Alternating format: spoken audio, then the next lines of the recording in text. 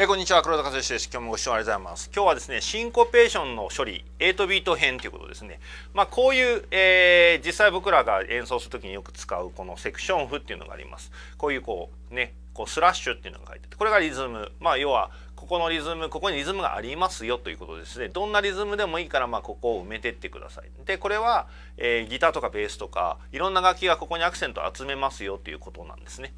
でこれをここをどういうふうに処理するか実際この演奏こういう書き方の方がドラムがこういろいろアプローチできるので面白いですねちゃんと書いちゃうともうそれしかできないんだけどこういうふうな書き方の方がまあ音楽が広がるというかその場その場でこうこれは絶対守らなきゃいけないというよりかはドラムはもうキープさえしてればまあ音楽は成立するんでこれは全部無視しても全然平気です。なのでここを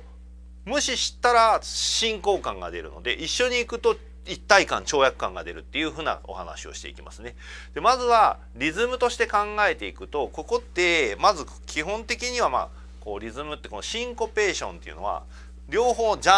ーンジャーンって弾くのでジャーンここを合わせてあげたい。うん。でもここススラッシュついてるってことはここになんかまあビートが欲しいですよねみたいなそうするとちゃんと受けてあげる。そうすると1拍目に向かってんだけど4拍目で受けてあげて頭に流してあげるって感じね。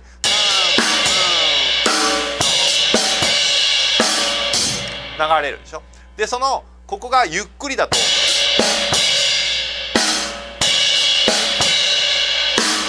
待つのが結構大変なんでその手前に足を入れてあげるって感じね。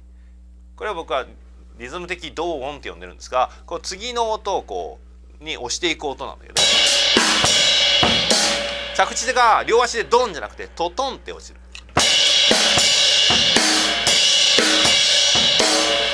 で最後のハイハットここハイハットでジャッて止まるよりかは普通にこうドンのところから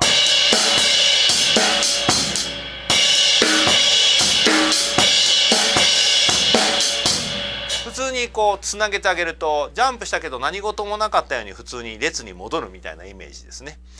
で、えーと、大事なのはこっちなのでこの前半のところの音は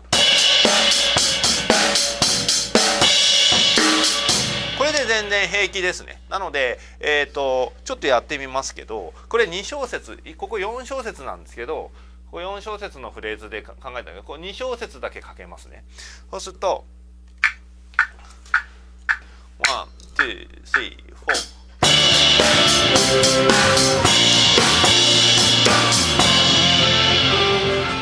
っていうタイプとワン、ツー、スリー。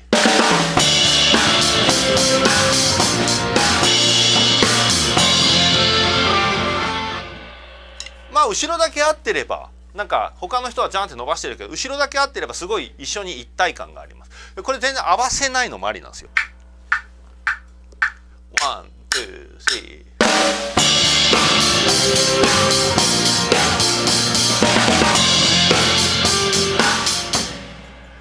こうね全然音楽的には成立するでしょ。こう要はみんながこうボンって飛んでるところを自分はこうなんか戦車のように。この上に合わせるってことはみんなと一緒にジャンプする。その分進行感は減る。跳躍してるからこうそのスピード感っていうのは減っちゃうんだけど。だからあのよくハイウェイスタートとか。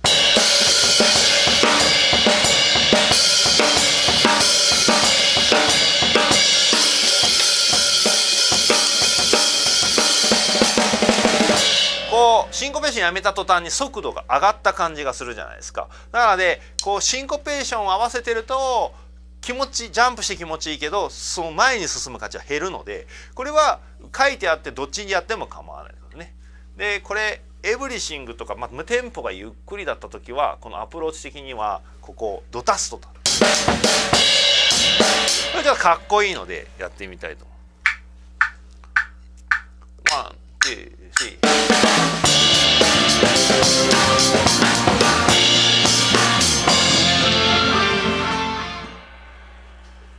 リズムの感じが変形してちょっとそのなんか変化が起こるよっていう予兆させるのでこれなんかすごくこういいかなとは思いますね。でここを、えーと、このまあこれチェリーという曲でやってるんですけどこのチェリーのここの一番最後ここ二重線があるってことはここはフィルインを入れてほしい要は次のセクションに移るよってことなのでまあこうこのリズムでやっちゃっても全然構わないんだけどこう普通のリズム戻った感じなんだけどここで区切りが欲しいからここフィルインにしたいここをフィルで受けるって考えるとそうするとドツタドドタンからっ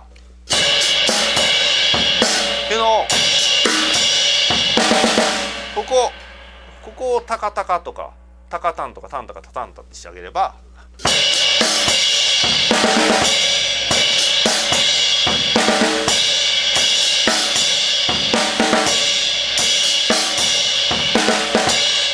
具合にいろいろ自分のバリエーションが決め事はやらなきゃいけないけど決め事やったところ以外は自由に叩く自分なりの今思いついたフレーズを叩いていくっていうところができるとかっこいいんですよね。でこのバスドラだったところこれはスネアとかに変えちゃっていいんですよ。そうすると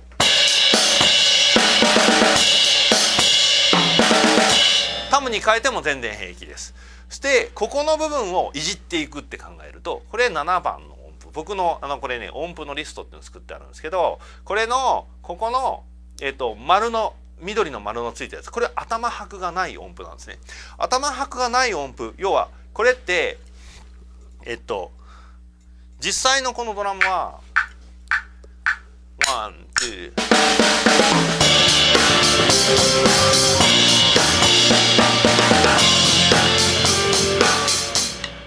これシンコペーションしてないですね。でこれ、まあ、ロックフェスとか僕も出たことあるんでそういうこう大きな野外とかで出てるとこれってシンコペーションしてるとバンドが結構グラグラするというか空白になっちゃってなんかここは埋めたいなみたいな感じがあって実際にこうフェスとか出てる人とかロック系の人は結構埋めるんですけどジャズの人っていうのもちっちゃい箱でやるじゃないそうするとやっぱこう空間飛んでる空間を楽しみたいからここはやっぱ急風にするんですよ。でそうすると急風にした方が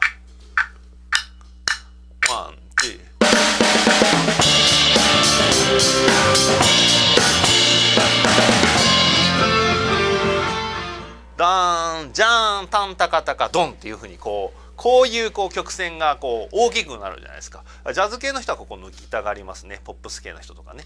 で、この受ける時が、ダンっていうところを、これが、えー、音符的に言うとこれは右手で叩くんですけど、この手前に左を入れると、歌たん。おつかと。たんたたたかおですたり。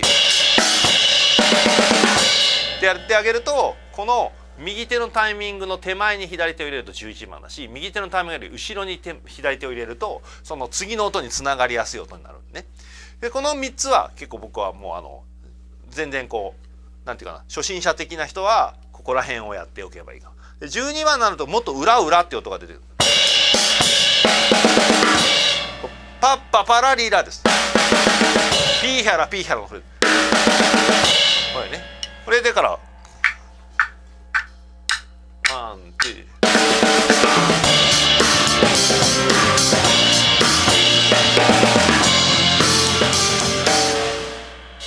ちょっとこうなんか空中戦するみたいな感じですねでこれの右手で埋めるとこういうねフィルインができる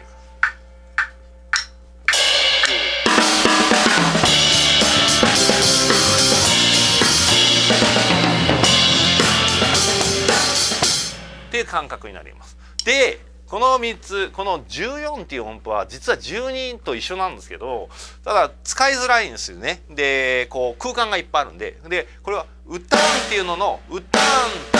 「歌ん」これシンコペーション。8部でシンコペーションした後16でシンコシン。コペーションからシンコペーションでつなぎにくいのね。まあそれが逆にうま面白いんだけど。でそこを入れたのが12番なんでまあ同じ音符っちゃ同じ音符なんだけど空白が多いんでこれは第3部類にしました。こんな風になります。ワンツー。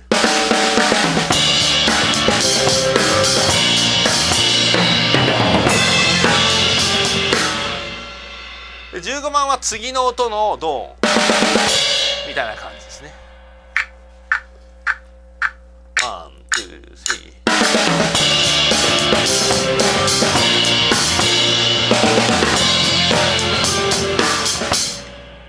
ね、結構こう対空をしっかり考えててこの下のこうリズムをちゃんと取れないと難しいですね。最後ゼロね。音符なし。ワンツー。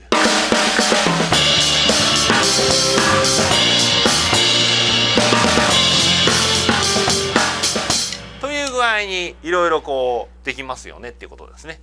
でこのここの音符は全部4番縛り。この音符の4番縛りでやったんだけどこれ4つ目の音符は1番から要はここの音符はシンコペーション感を出そうと思うとこのいわゆるこう緑の丸をついた頭拍がない音を入れなきゃいけないけどここは何を入れてもいいのね。でそうすると4とか5個要は頭拍のある音符は別にいいんだけどこのここに裏拍の音を入れると頭拍のない音符を入れるとシンコペーションを2回する形になるのね。そうするとよりこうポップスとかこうちょっとこう繊細な音楽な感じ。One, two。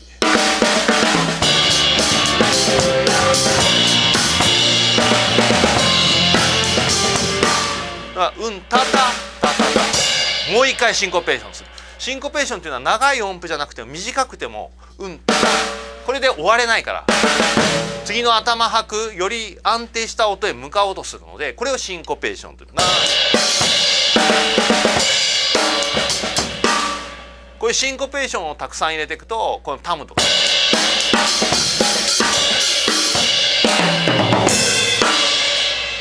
一回おって思わせるっていうところがこうよりポップスチックな感じな感じですね。ロックはどちらかというともうこう全員がこう歪んだ音で大きくこうビートを包んでいくので逆にあんま裏裏裏っていう拍はあんま合わないんですよね。だからそれどっちがいいとかじゃなくてそのその